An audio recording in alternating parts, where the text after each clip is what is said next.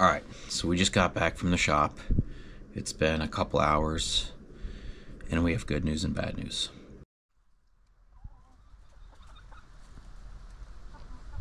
First, the good news is the truck will be done Friday. The bad news is the truck needs a clutch. So, he said the pressure plate's bad for whatever reason. Like I said, both shops pretty much dogged on the first place that put the transmission and the clutch in, saying that it was probably the worst clutch they could have put in there. Now, when I talked to him at first, um, he told me it would be slightly more than $2,000. Now he's saying $2,700. So he's putting in a uh, clutch that's going to need to be adjusted by itself. He said maybe every 20, 30,000 miles. I feel like that's that's kind of a lot. Uh, my brother never really has to have his clutch adjusted. Maybe he has an automatic adjusting clutch as well.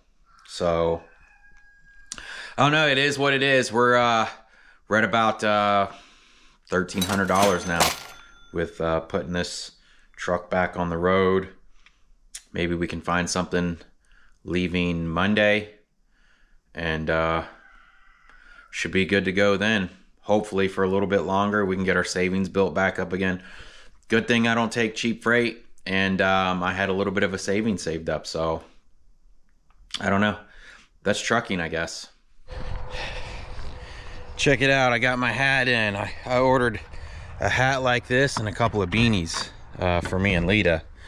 I wanted to check on the quality um, before I went to buying more and possibly uh, selling them.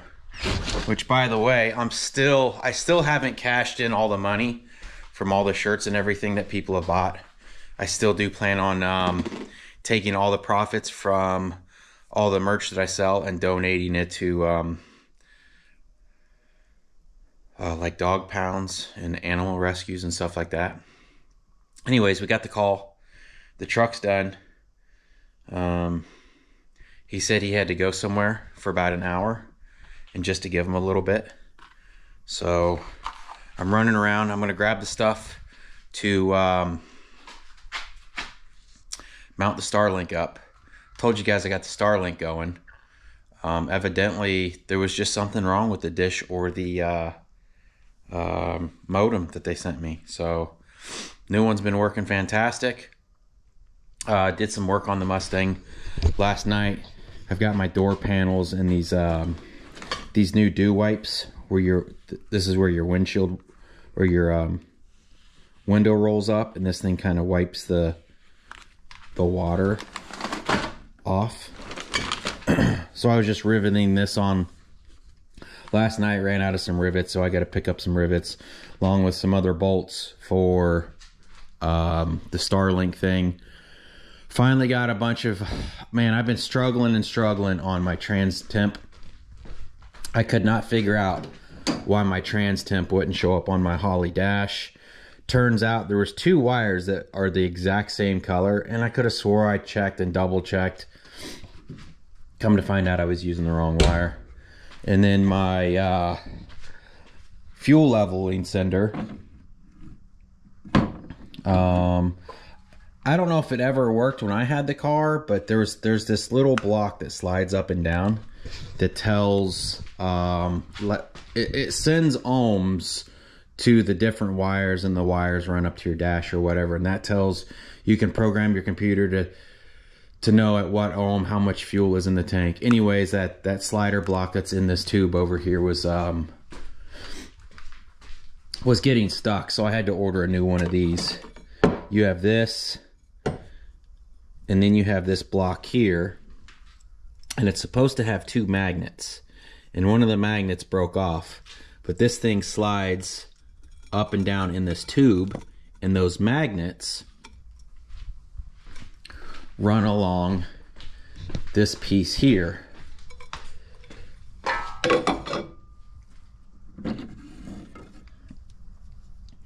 And then I guess when the magnets touch those two things together in different areas, that's what tells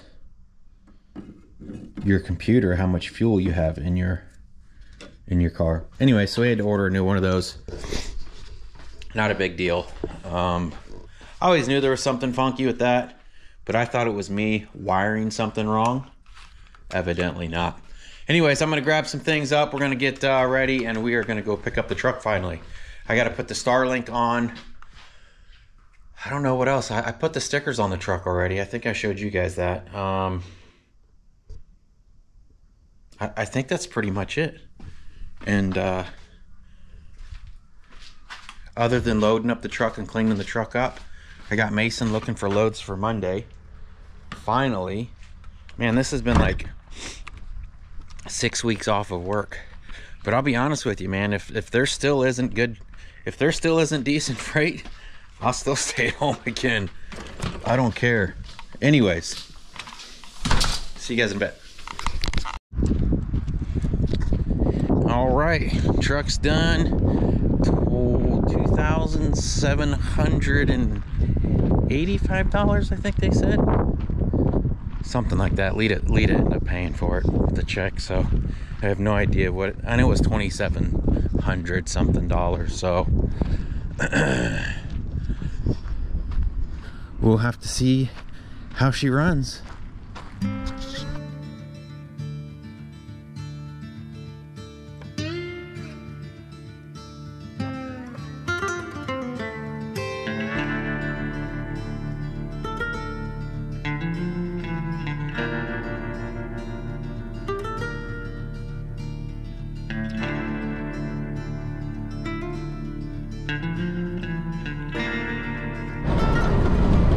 Almost home now. Truck seems to be doing fine. I don't know if I mentioned or not, but on my way to that shop from the house, uh, the truck's AC quit working again.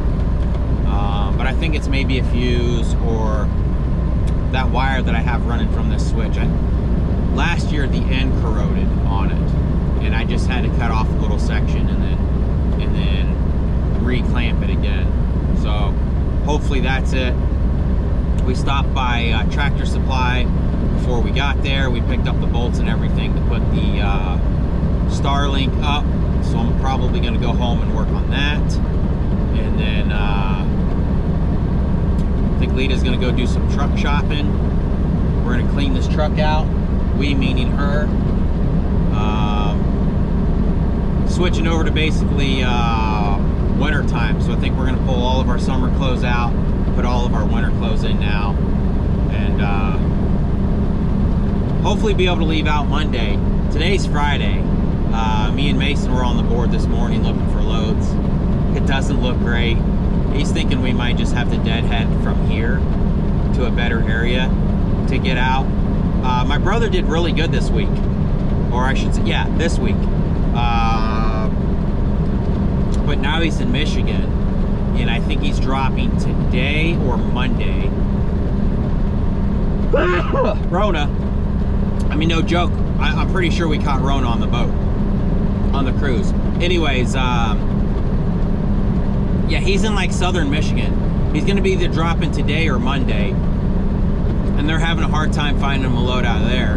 Which last time he went to southern Michigan, he ended up having to deadhead from Michigan down into Ohio which is crazy because Michigan used to be really used to do really good, and I guess um, like I told my brother and Mason, the lanes that we're used to running, I, I don't know that we can rely on those lanes anymore. So it's it's almost like you have to just take the the highest paying load and hope for the best, you know. But then that can bite you in the butt too I mean, you got to put some restrictions on that. You can't take like the highest paying load going to Colorado because no matter what, you're probably dead heading out of Colorado. So, anyways, we're almost home. I'm going to uh, get to work on the Starlink. I bought some aluminum uh, nut rivets uh, to go into the back of the fiberglass and then some bolts to go into the nut rivets.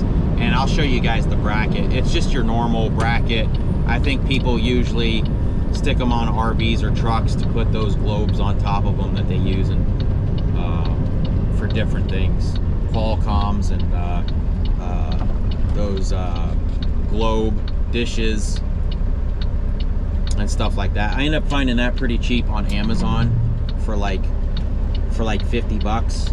And then the I don't know if I mentioned the Starlink, the little aluminum housing. Uh, it was like 500 bucks. But here's the crazy thing. I bought that aluminum thing to put my Starlink in because you used to be able to drive down the road and your Starlink would quit, would keep working. But like right after I bought that aluminum housing, uh, Starlink put out a thing that says they're stopping you from being able to drive down the road and use Starlink. So, man, I'm I'm just bad luck. No matter what I do, it just comes it just comes around on me. So, but I mean, it is what it is. We don't really need it going down the road, other than uploading videos or like lead assigning Raycons and and looking for loads and stuff like that. Um, I guess what happens is it doesn't work if you're going faster than uh, five. No, what they say, 10 or 15 mile an hour. I can't remember.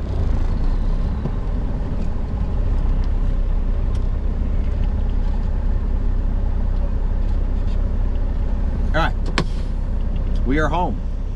All right, so bad news already.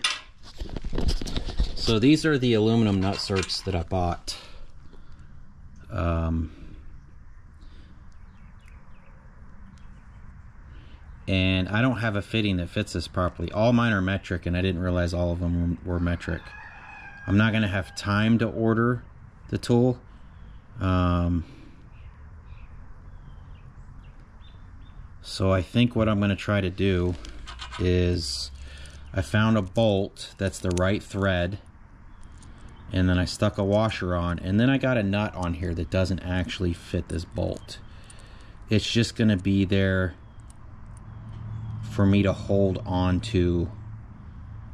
So what happens is, as this gets pulled in, it squeezes it. See if I can show you the difference here. As this bolt tightens into this, it takes this collar and pinches it up against this, which um, allows you to just put a bolt, run you a bolt anywhere you need. Usually in a place where you can't get back and put a nut on.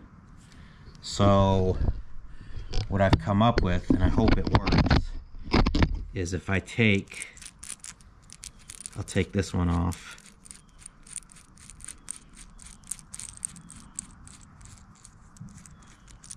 And I stick this on and we'll imagine that I've drilled the hole in the back of the truck already. And this is, this is in the truck. This is hard up against the truck wall right here on the outside. So I'll run this in. I'm only going to drill one hole and try this. If this doesn't work, I'm going to have to see if I can go find um, see if one of my buddies has maybe the, the tool. So my plan is I'm going to take and hold this like this. And then we'll run this in without knocking the camera over. And you should be able to see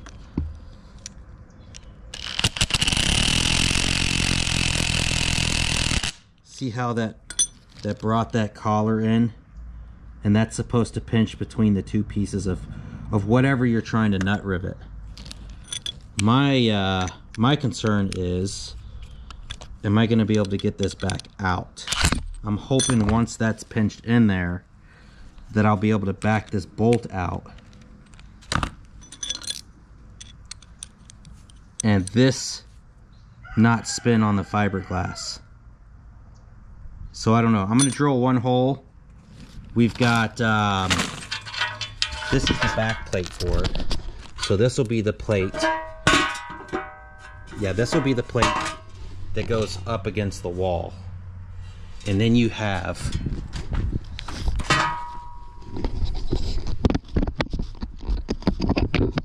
see if I can set this thing up here.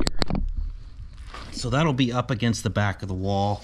And then you have this piece that comes off of this.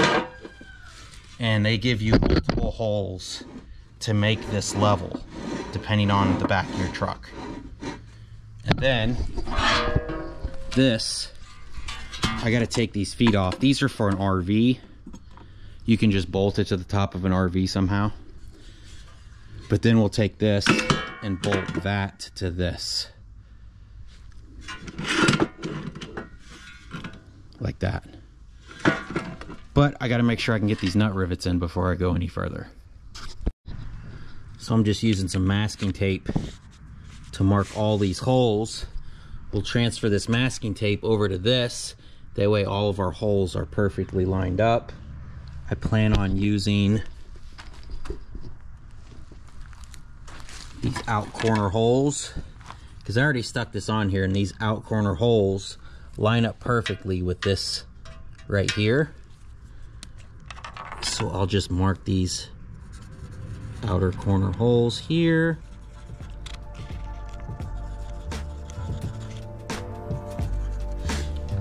Transfer this over here and we'll drill some holes.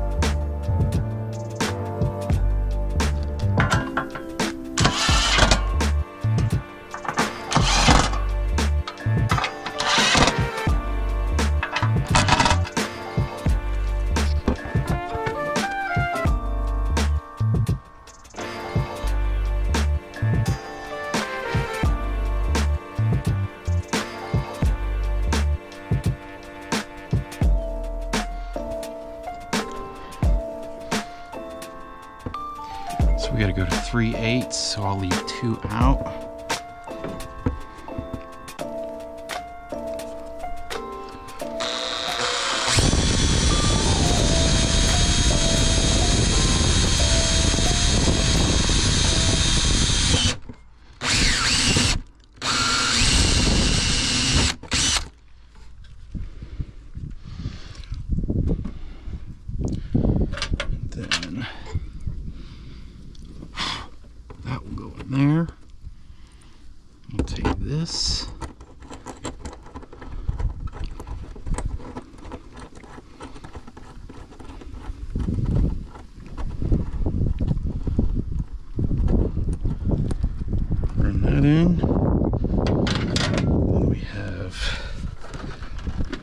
This.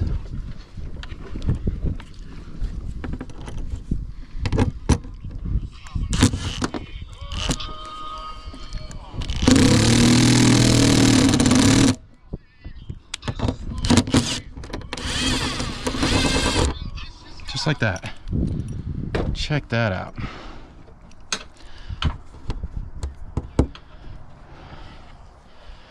Just like that, it worked. All right. So what I think I'm gonna do, because I don't trust those markings now, because this moved around on me so much when I was marking it, I'm going to go ahead and put our first bolt in.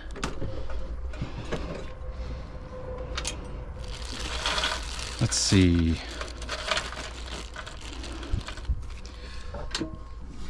This will go like this. That'll go here. We're gonna put our first bolt in. and then drill pilot holes from there. Snug this one down.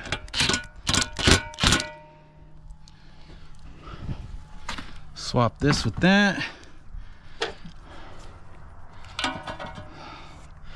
Make sure this is plumb.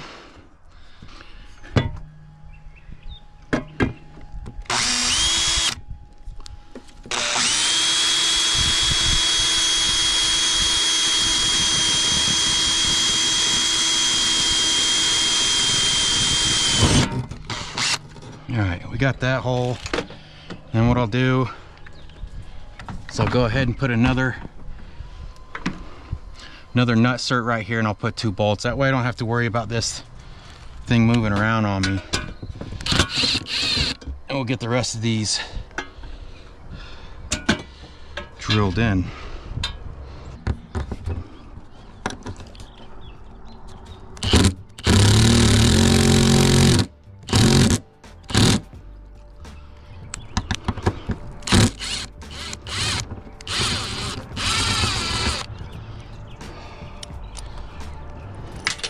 That takes forever.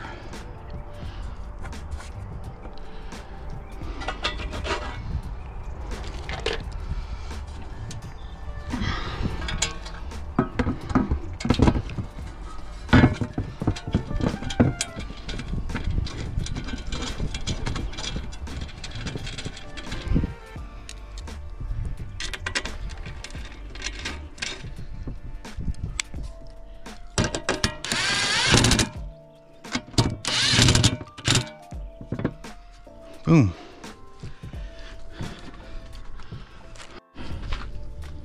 All right, check it out. We got that base plate up there now. I'm gonna grab that piece.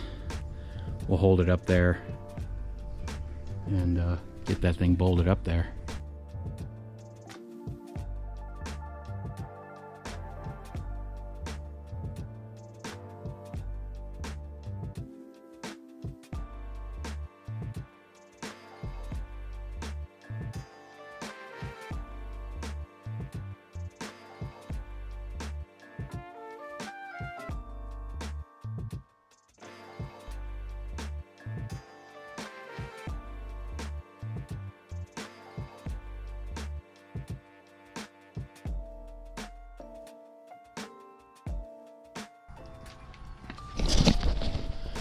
See, and then the uh, the cable for the dish comes out of this arm right here. So I wanted to bring it over and we'll run it down just like this. I got some new stick-on clips in the house that we'll run the new wire with. Like I said, obviously we'll probably take that off. I don't know, maybe we'll leave it on. I mean, it does help. It just looks like crap. So I just got to, uh, I forgot to get lock washers for these. I'm gonna go grab some Loctite. I wanna Loctite these on and then we should be good to go. All right, we are all done. I've already draw, uh, ran a speed test on it. We are getting uh, like 129 down, 30 up, I believe. And we've got this tree in the way. yeah, I mean, what more can you ask for? I end up having to just bring it down. I'm going to zip tie this line to this line here. Um, I end up having to drill another hole in here for the wire to come up and we just ran it up. I'm gonna put the modem up there, kind of where the uh, computer goes. Lita's in here cleaning up my mess. Check out this crazy, ooh, it's dark in here, Bebs.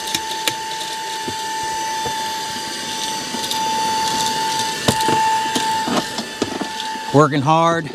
Mason's calling on a load. We might be picking up two day cabs in Tallahassee, going to, uh, I don't even remember where it's going, honestly. I have no idea. So, stickers still look good. I need to check this other one where I boogered this other one up. I'm afraid that if I get this thing washed, if they pressure wash right here, it's going to be an issue. Man, I really hate that. Still looks good though. I'm still happy with it. That white really shows you how not white the truck is.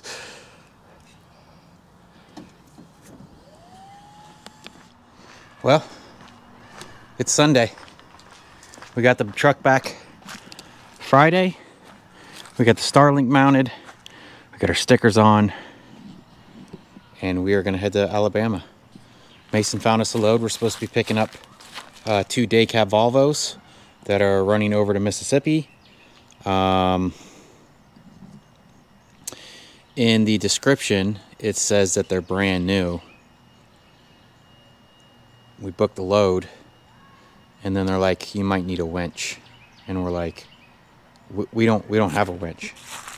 They're like, uh, "All right, we'll go see if they'll start." I'm like, "See if they'll start." It says brand new trucks. Come to find out, they're like 2000, uh, a 2002 and a 2003, I think and they won't start. They said that they won't start and the brakes won't release. And I was thinking, yeah, if it doesn't start, the brakes won't release. So I told him, I said, I guess we have to uh, cancel this load. And uh, they said, let me see what we can do. Uh, and they've hired a wrecker. They've hired two wreckers. They've hired one wrecker to load us and they've hired another wrecker to unload us. Um, I'm hoping it's not going to turn into a big deal. And I hope the wrecker can maybe just come out. I mean, honestly, I could probably jump the trucks off. But if they want to pay a wrecker and waste money, so be it. I'll let the guy come out, maybe jump the trucks off. Maybe we can go ahead and drive them up on the trailer and, and, and drive them off. And we won't have to worry about, because I don't know how a tow truck's going to, uh, a wrecker's going to put it on there anyways, that's what we got. We're picking up two day cab Volvos. We're going to leave tonight. Um, that way we're there first thing in the morning, ready to, to load. Pretty much got the truck completely packed. Lita is in the house cooking us dinner. We're going to eat some spaghetti before we go. That's weird. Every time I talk about food, it's like we eat spaghetti a lot, I guess. It's so good, though. Anyways, Lita's finishing cooking. And then um, I think we'll be good to go. I think we have about a three hour deadhead to get there. It's a decent rate. It, it, it would be it would be an amazing rate if we were already in Alabama after deadhead. It, it's still good. It's still above three bucks a mile, but kind of sucks that uh, we have to deadhead. But it is what it is. You guys know I've been saying it a million times. Freight's really slow right now, so nothing I can do about it there's nothing you can do about it other than not going out and buying a new truck. So, anyways, we'll check on Lita making some dinner and um, gave the doggies a bath. So they're good to go. That's your plate. Oh, plate's done. It's kind of bright, uh, dark in here. We got fat butts. Are you ready to go bye-byes, babies? Huh? Lita making some spaghetti. Are you cooking spaghetti for everybody? Uh, yeah. I Or is this for us to take? Because I think they went and got stuff for manwiches. Yeah. Or sloppy joes. Yeah. All right. Let's get this down. We'll see you guys later. All right, we're finally back on the road. We're loaded up. It's uh, about 7 o'clock at night now. Uh, GPS says we have about three hours to get there. Should put us there like 10. We told them that uh, we'd be there ready to load first thing at 8 o'clock. So that's the plan for that. You know what's crazy though? Is this will be the first time we pick up going west from the house, right? We've never picked up and gone west from the house. Normally we have to go north first and then west. So that's kind of exciting because that means we get to bypass Atlanta again. so it's just, it's going to shoot us down to the 10 and over. Uh, we're picking up in Geneva, Alabama. So, and like I said, I really hope we can get these trucks started and we don't, I mean, I don't know how they would winch it on the truck. Maybe that would still be the best way to do it. But I don't know. So, anyways, we're on the road three hours to get there. Um, we'll see you guys in a bit.